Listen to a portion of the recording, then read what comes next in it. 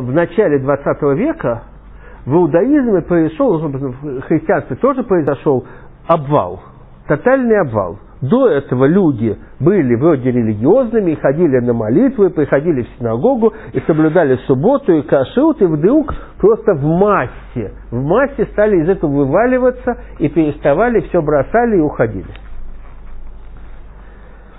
Э, и вопрос, почему это произошло? В этом, в этом вопросе большинство раввинов в начале 20 века придерживалось стандартной точки зрения. Стандартная точка зрения была такая. Люди похужели, люди теперь не понимают, у них соблазны, соблазны их соблазнили, и они поэтому ушли, а поэтому хватать за штирку и тащить обратно. Понятно. Теперь, и этот подход абсолютно безнадежен.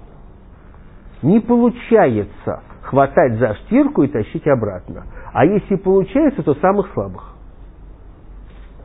Теперь, в этой ситуации, вот Равкук, который я, кстати, много цитирую, и по линии которого я в основном как бы иду по его системе, который является создателем вот этой модернистской концепции в редакциальном иудаизме, он выдвинул совсем другую концепцию. Он сказал так. Духовные потребности людей возросли. Потому что университет научил их по-новому глядеть на мир, концепция Дарвина научила их взгляду на эволюцию, космология заставила их выйти из их мира маленького в мир большой, они стали все читать, они стали получать образование, они под... динамика социальных процессов показала, что они могут изменить мир – и поэтому они пришли к своим прежним духовным лидерам, к раввинам, с новыми вопросами, гораздо более серьезными. А те им отвечали по привычке, как было положено раньше. И поэтому они все это выкинули и покинули. То есть отход от религии в начале XX века связан, с точки зрения Рава Кука, с повышением духовных потребностей и поэтому невозможно загнать обратно. Невозможно взять за штирку и затащить в ту религиозную схему, которая была раньше. Это вызов для самой религии. Религия обязана перестроиться, найти ответы на новом уровне, и тогда люди к ней вернутся. Когда она будет отвечать не на старом уровне, не будет цитировать то, что было раньше – то есть то, что было раньше, никуда не денется. Оно было фундаментом, оно останется фундаментом. Но надо строить следующий этаж. Без этого никто никуда не вернется.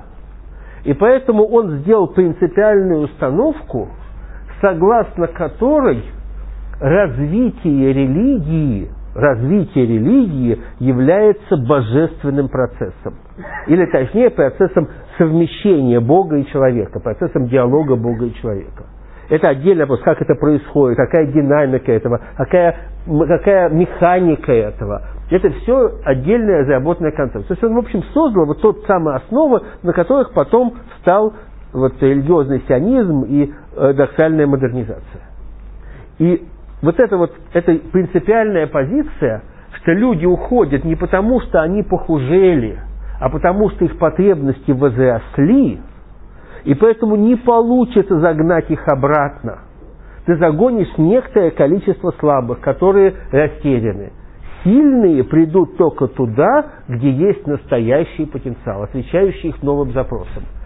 И поэтому отход, ну да, евреи, отход евреев от иудаизма является важнейшим элементом продвижения иудаизма.